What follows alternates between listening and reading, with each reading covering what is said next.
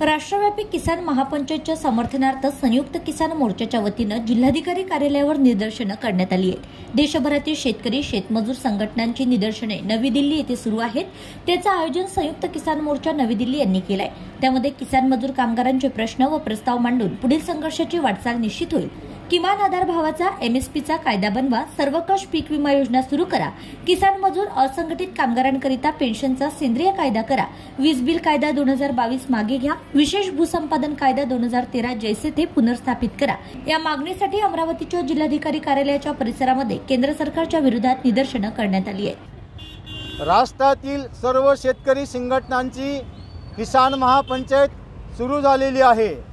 त्यामध्ये चाळीस देशाचे चाळीस पार्लमेंटचे प्रतिनिधीसुद्धा आलेले आहेत.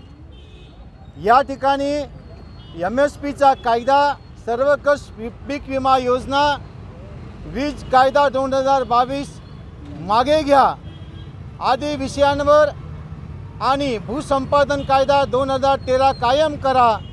यासह अनेक विषयांवर या ठिकाणी या प्रस्तावावर चर्चा केली जाणार आहे आणि पुढील लढ्याचा मार्ग ठरवला जाणार आहे. संयुक्त कामगार संघटना कृती समिती संयुक्त किसान मोर्चा आणि यांच्या नेतृत्वामध्ये महाराष्ट्र राज्य किसान सभा अखिल भारतीय किसान सभा बळीराजा प्रकल्पग्रस्त संघर्ष समिती स्वाभिमानी शेतकरी संघटना भारतीय खेतमजदूर युनियन आदी या सर्व शेतमजूर कामगारांच्या आयटक आणि सी टू या संघटनांचं लोक या आंदोलनामध्ये देशभरामध्ये सहभागी झालेले आहेत.